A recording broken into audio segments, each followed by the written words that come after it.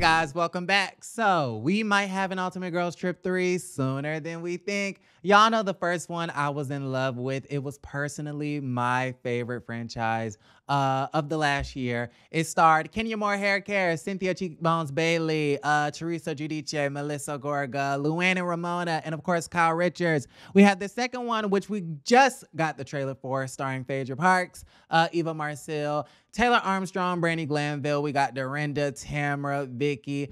I don't know if I'm gonna like that one as much as the first one. It seems interesting, however, it just looked like a whole bunch of women. Ooh, getting drunk.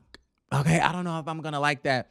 Well, now, me and the EP were just talking, and he was asking, where the hell is the information on Ultimate Girls Trip 3? Like, we should have a third one um, in the works by now because all of the Twitter girlies have been going off talking about some. Why haven't we had any ladies from Potomac being inducted into the Ultimate Girls Trip universe? And it looks like your wish is their command. Um, Bravo and Cocktails has some information. Now, this cannot be verified nor confirmed. I don't know if this is true. However, this is the rumor mill.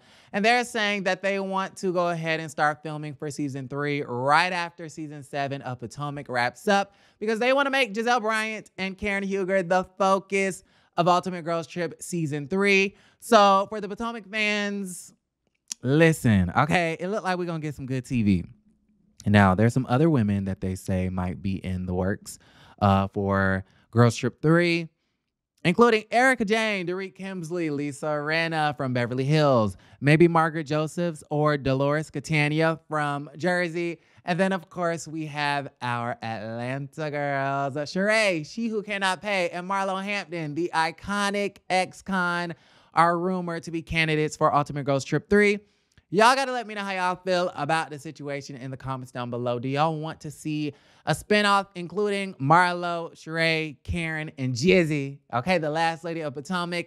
Let me know in the comments, like the video, subscribe to the channel, and don't forget to create a great day.